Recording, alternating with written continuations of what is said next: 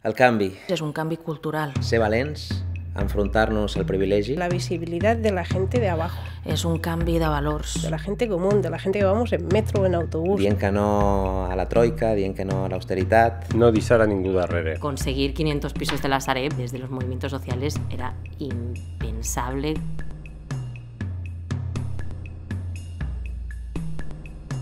És un canvi de prioritats, és un canvi en les maneres de fer. A mi ara em pregunten què fas i jo dic jo faig polític. Per primer cop hi ha un govern que s'està posant les piles per governar el sector de l'aigua, que ha estat sempre privatitzat. Posar-hi moltes ganes, molta energia perquè això realment cristal·litzi. En energia veus que s'està plantant cara a l'oligopoli elèctric.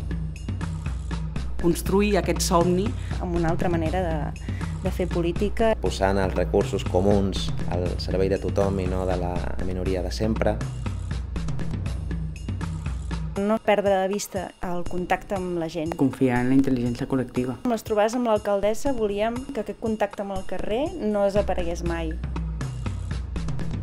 El canvi es veu en què facis un pla de barris, fer un gran canvi en la responsabilitat i en la visió i la imatge que tens de la ciutat. Cals barris amb més problemes de desigualtat econòmica.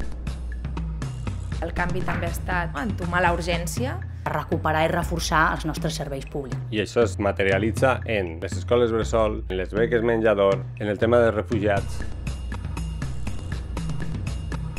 Obrir 150 llits tancats, ampliar els horaris d'un CUAP i un CAP, desencallar les obres de l'Hospital del Mar. Som una ciutat que ha aixecat la veu contra el TTIP. Barcelona no contractarà empreses que operin il·legalment en els paraïsos fiscals.